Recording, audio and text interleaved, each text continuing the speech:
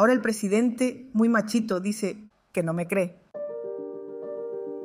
Siempre habrá quien no te crea, quien dude de tus orígenes, de tu historia y de tus sueños. Siempre habrá quien dude de tu fuerza, de tu capacidad y de tus ideales. Te criticarán las ropas, los dientes, las manos, hablarán mal de tus palabras, de tus ideas y de tus valores. No te creen porque no eres igual. No te creen porque no lo pueden creer. No te creen porque han perdido la fe. Han confundido la esperanza, esa que vive en el corazón, con la venganza que los ha hecho perder la razón.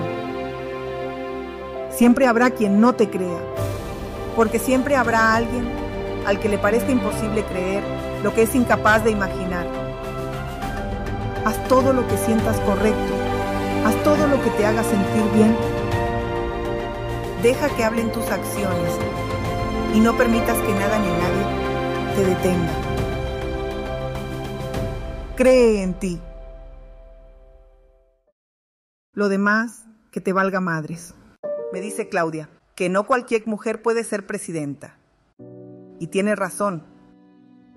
No puede quien no tiene con qué. No puede quien necesita que le ayuden. No puede quien finge ser quien no es. No puede quien no cree.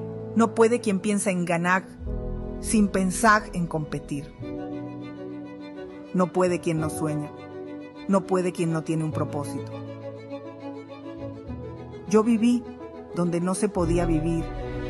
Yo crecí donde no se podía crecer. Yo amé donde no se podía amar. Le dijiste que no puede a la persona equivocada. Dime loca, dime india, dime terca, pero nunca me digas que no puedo. Tan nervioso está el destapador de corcholatas que todos los días hace campaña contra quienes le vamos a quitar el amargo sabor a su sexenio. No sirven las corcholatas.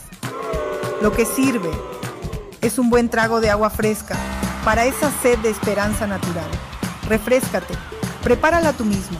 Agrega un poco de mí y de ti. Una pizca de amor. Bueno, dos. No la dejes reposar. No le pongas azúcar. Ya está dulce. No la agites. Delicioso sabor a gente. Dulce sabor a futuro. Sorprendente sabor a sueños. Sabor a México.